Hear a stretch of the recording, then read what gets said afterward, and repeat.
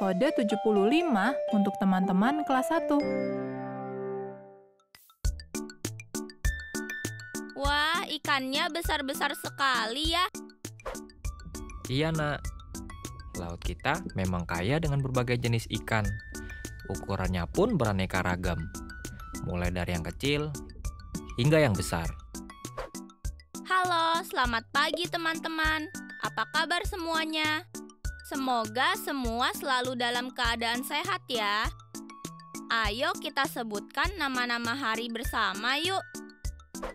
Senin, Selasa, Rabu, Kamis, Jumat, Sabtu, Minggu. Teman-teman, aku sedang melihat foto-foto sewaktu ayah memancing di laut akhir pekan lalu. Lihat deh, ikannya besar-besar sekali ya. Laut Indonesia memang luar biasa. Selain luas dan indah, ada berbagai jenis ikan yang dapat ditemukan di laut kita. Tapi ya, kenapa ayah memancing ikan di siang hari? Bukannya kalau memancing atau menangkap ikan itu dilakukan di malam hari. Memancing ikan bisa dilakukan kapan saja dan di mana saja. Artinya, bisa dilakukan saat pagi, siang, sore, atau malam hari.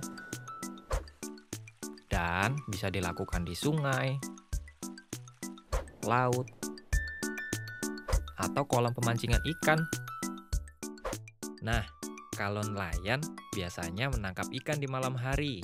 Dan sepanjang malam, mereka akan menunggu jalannya sampai penuh dengan ikan. Lalu, mereka akan pulang menjelang subuh saat matahari akan terbit. Wah, ternyata pekerjaan nelayan itu berat sekali ya teman-teman. Kita harus mengucapkan terima kasih kepada para nelayan yang telah menyediakan kebutuhan ikan untuk kita. Aku kasih makan ikan juga ya ya. Boleh? Kamu sudah selesai belajarnya. Belum ya. Aku mau minta ayah untuk menemaniku belajar. Boleh? Mau belajar apa? Membaca cerita ya. Aku sudah siapkan bukunya. Ya sudah, kita baca sekarang saja. Teman-teman, sebelum belajar dan melakukan kegiatan lainnya, kita berdoa dulu menurut agama dan kepercayaan masing-masing. Berdoa mulai.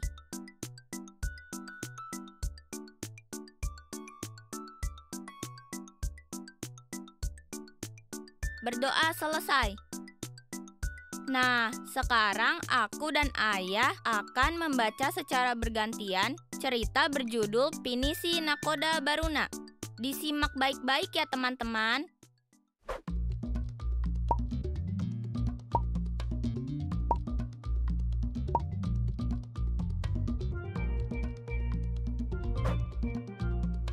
Pinisi Nakoda Baruna Baruna senang mendengarkan kakek bercerita. Kali ini, ceritanya tentang kapal pinisi pertama di Indonesia. Nenek moyang kita membuatnya sendiri, kata kakek. Pinisi pertama berlayar dari pulau ke pulau. Namun, kapal itu dihantam badai. Badan pinisi kandas di pantai Dusun Arah. Tiang dan layarnya hanyut ke Tanjung Bira. Kapalnya kurang kuat, kek, kata Baruna. Aku ingin membuat pinisi yang lebih kuat. Tetapi bukan sekarang. Nanti kalau aku sudah besar, kata Baruna. Kakek tertawa. Kamu juga bisa menjadi nakoda yang terampil melawan badai, kata kakek. Oh iya, bagaimana dengan muatan kapal, kek? Tanya Baruna. Muatannya tersapu ombak ke tanah lemo, saut kakek. Mungkin itu pertanda. Penduduk Ara, Bira, dan Lemo harus bekerja sama membuat pinisi yang lebih kuat. Baruna jadi teringat Uci dan Salman. Mereka biasa bekerja sama membuat mainan. Baruna ingin menjadi nakoda seperti kakek. Kakek memberinya peti kecil bertuliskan nakoda. Seorang nakoda memerlukan kapal. Kapal harus dibangun dulu. Namun, bermain sendirian tidak enak. Baruna pun mengajak sahabat-sahabatnya membangun pinisi. Siap, aku siram bunga dulu ya, kata Uci. Asyik, aku ikutan, kata Salman. Mereka bermain peran sebagai penduduk Ara, Bira, dan Lemo. Bertiga membangun pinisi dengan bahan-bahan dari gudang. Kali ini bekerja sama ternyata tidak mudah. Pinisi mainan belum selesai, tetapi mereka malah berdebat. Aku jadi nakodanya, kata Baruna. Tidak, aku paling giat. Perempuan juga boleh jadi nakoda, kata Uci.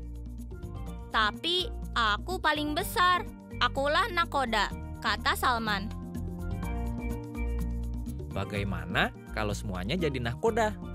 Usul Uci. Tidak bisa, satu kapal dipimpin satu nahkoda. Begitu kata kakek, kata Baruna. Tidak ada yang mau mengalah. Waktunya makan siang. Uci dan Salman berpamitan pulang. Padahal pinisi belum jadi. Baruna kesal dan sedih. Kapal saja tidak ada, bagaimana menjadi nakoda? Baruna membuka peti nakoda dari kakek. Karena sibuk berdebat, Baruna lupa peti itu. Nakoda, mualim satu, mualim dua, semua menarik, semua penting. Baruna dan dua sahabatnya bisa memilih, bisa juga bergantian menjadi nakoda. Sekarang selesaikan pembuatan kapal dulu. Pinisi kita tampak kuat, kata Uci. Jangan lupa jangkarnya, seru Salman. Sudah siap semuanya? Seru Baruna. Ahoy, kita berlayar. Selesai. Nah, teman-teman, sekarang ayah akan memberikan beberapa pertanyaan dari cerita berjudul Pinisi Nakoda Baruna. Kita jawab bersama-sama ya.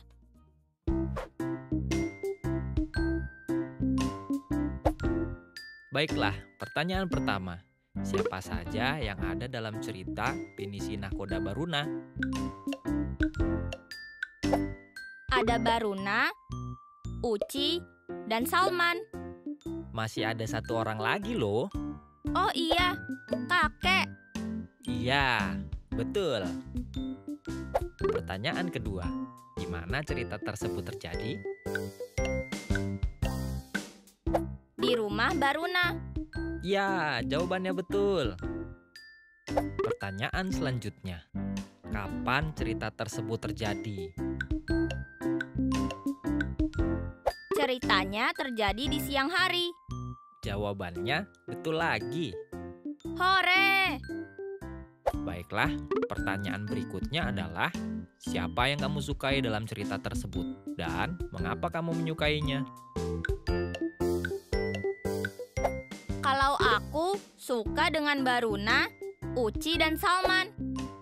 Meskipun sempat berdebat, mereka tetap kompak dan menyelesaikan kapal pinisi hingga menjadi kapal yang bagus sekali. Nah, pertanyaan terakhir.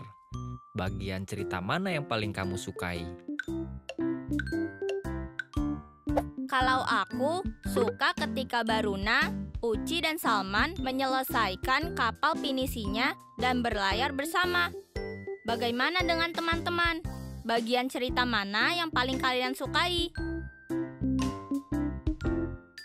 Wah, ada yang sama jawabannya denganku, ada juga yang berbeda. Ayah senang. Itu artinya kalian menyimak dengan baik. Nah, teman-teman, ceritakanlah kembali cerita berjudul Pinisi Nakoda Baruna tadi kepada orang tua kalian. Tapi ingat ya, ceritakanlah dengan percaya diri dan santun.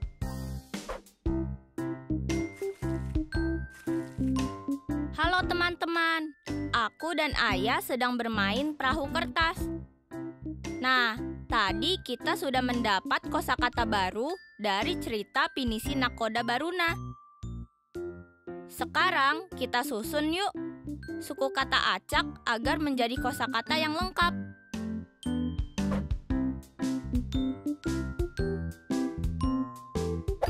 Kita lihat ya contohnya. Suku kata acaknya adalah palka. Dan kata yang tepat adalah kapal. Kemudian, tulislah huruf awal dari masing-masing kata tersebut. Kapal huruf awalnya adalah K. Nah, suku kata acak yang kedua adalah yarla. Kata apakah yang tepat? Iya, benar. Kata yang tepat adalah layar. Dan huruf awal dari kata layar adalah huruf L. Sekarang kita lihat suku kata acak berikutnya. Karjang. Hmm, kata yang tepat apa ya? Iya, betul. Kata yang tepat adalah jangkar. Jangkar huruf awalnya adalah huruf J. Suku kata acak selanjutnya adalah dahonak. Kata yang tepat apa ya? Iya, kata yang tepat adalah nakhoda. Dan huruf awalnya adalah huruf N. Dan suku kata acak yang terakhir adalah si, ni, pi. Jika disusun, kata yang tepat menjadi apa ya? Iya, Kata yang tepat adalah pinisi. Dan huruf awalnya adalah huruf P. Bagaimana teman-teman? Asyik kan menyusun suku kata acak menjadi kata yang tepat? Sekarang, aku mau lomba bermain perahu kertas bersama ayah. Ayo, maju, maju terus. Ayo. Teman-teman, aku sedang menggambar foto ayah yang sedang memancing. Tapi gambarnya belum selesai. Teman-teman, ikut menggambar juga ya.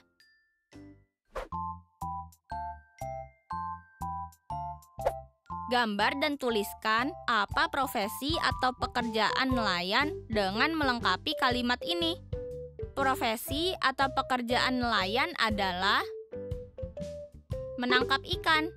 Jadi, yang digambar oleh teman-teman adalah nelayan yang sedang menangkap ikan. Kemudian, gambar dan tuliskan tempat nelayan bekerja dengan melengkapi kalimat ini. Nelayan bekerja di titik-titik. Jawabannya adalah laut. Jadi, yang harus kalian gambar adalah laut. Nah, menurut kalian, mengapa profesi atau pekerjaan nelayan itu penting? Tuliskan ya alasannya dengan melengkapi kalimat ini. Profesi nelayan penting karena nelayan titik-titik. Misalnya, karena nelayan menyediakan ikan yang kita butuhkan. Nah, sekarang aku mau mewarnai gambar ini. Selamat menggambar ya, teman-teman.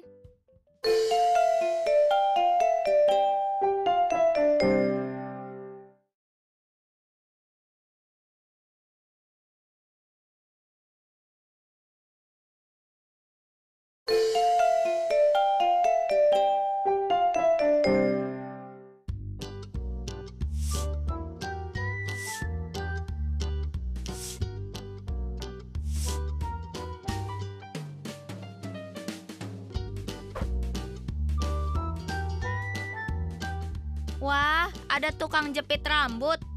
Iya, nak. Ayah, aku mau membeli jepit rambut dan bando. Boleh. Bang, tunggu bang. Ini uangnya. Terima kasih ya. Yuk, nak. Ya, apa uangnya cukup untuk membeli jepit rambut dan bando? Sepertinya cukup. Nanti kita hitung sama-sama ya. Teman-teman, aku akan membeli jepit rambut dan bando. Namun, kami belum tahu berapa harganya. Dan apakah uang kami cukup atau tidak untuk membeli barang-barang itu? Sebelumnya, yuk kita lihat temanku Agus yang ingin membeli ikan. Agus juga tidak tahu apakah uangnya cukup atau tidak untuk membeli ikan. Kita lihat penjelasannya sama-sama yuk.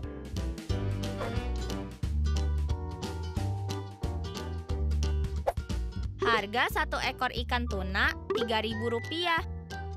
Harga satu ekor ikan kembung Rp5.000.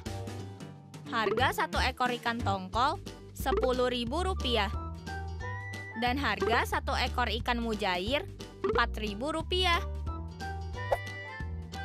Nah, Agus mempunyai uang Rp15.000. Berapa jenis ikan yang dapat Agus beli?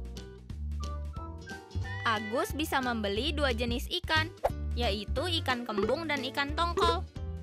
Karena harga satu ekor ikan kembung adalah Rp5.000 dan harga satu ekor ikan tongkol adalah Rp10.000. Kalau dijumlahkan, hasilnya Rp15.000. Jadi, uang Agus yang berjumlah Rp15.000 cukup untuk membeli satu ekor ikan kembung dan satu ekor ikan tongkol. Ayah, ini uang kembaliannya. Rp3.000. Tadi jumlah belanjaannya Rp7.000.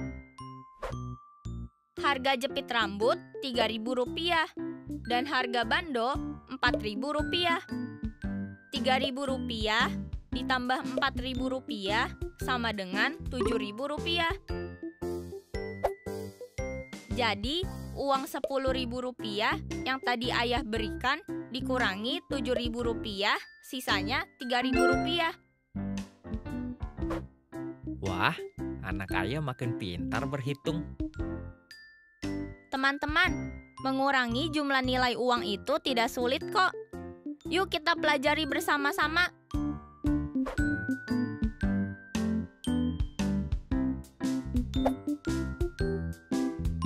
Dira memiliki uang Rp5.000. Dira harus membayar belanjaannya sebesar Rp2.000. Berapa uang Dira sekarang? Mula-mula, uraikan satu lembar uang Rp5.000 menjadi dua lembar uang Rp2.000 dan satu lembar uang Rp1.000. Kemudian, uang Rp5.000 yang sudah diuraikan tadi dikurang dengan Rp2.000.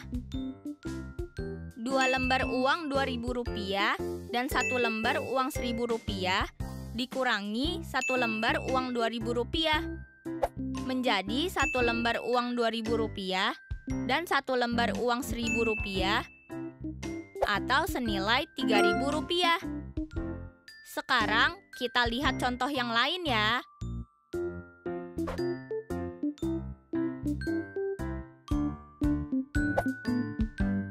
Ibu membeli ikan dengan total jumlah belanjaan seharga Rp15.000. Ibu membayar dengan uang Rp20.000. Berapa uang kembalian yang ibu terima? Mula-mula, uraikan satu lembar uang Rp20.000 menjadi satu lembar uang Rp10.000 dan dua lembar uang Rp5.000. Kemudian, uang Rp20.000 yang sudah diuraikan tadi dikurang dengan Rp15.000. Jadi, satu lembar uang Rp10.000 dan dua lembar uang Rp5.000 dikurangi satu lembar uang Rp10.000 dan satu lembar uang Rp5.000. Hasilnya adalah satu lembar uang Rp5.000. Jadi, uang kembalian ibu adalah Rp5.000. Bagaimana teman-teman? Mudah kan? Teruslah berlatih supaya cara menghitung kalian semakin lancar. Selamat berlatih ya. Nah, jangan lupa ucapkan terima kasih kepada ayah, ibu, atau kakak yang sudah menemani kalian belajar. Jangan lupa diisi lembar refleksinya ya. Dan ingat, selalu mengikuti protokol kesehatan dengan cara 4M. Memakai masker jika keluar rumah, mencuci tangan sesering mungkin, menjaga jarak dengan orang di sekitar kita, dan menghindari kerumunan. Sampai berjumpa besok ya teman-teman. Dadah!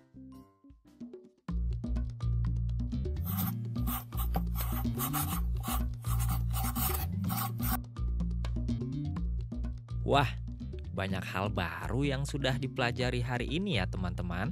Kita sudah mengenal kapan waktunya nelayan bekerja di laut, membaca dan menjawab pertanyaan dari cerita berjudul Pinisi Nahkoda Baruna, menyusun suku kata acak menjadi kata yang tepat, menggambar dan menulis profesi atau pekerjaan nelayan, menghitung berapa jenis barang yang bisa dibeli dengan uang yang dimiliki, dan pengurangan dengan cara menguraikan.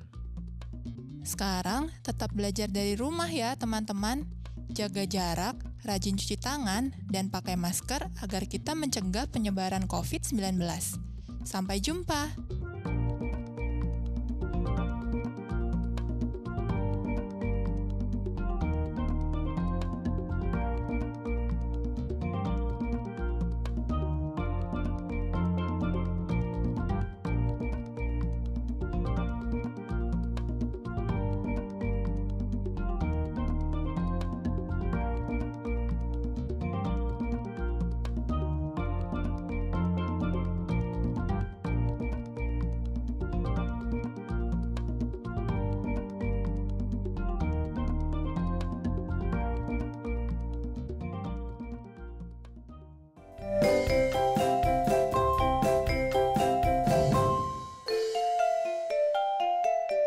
Sampai jumpa.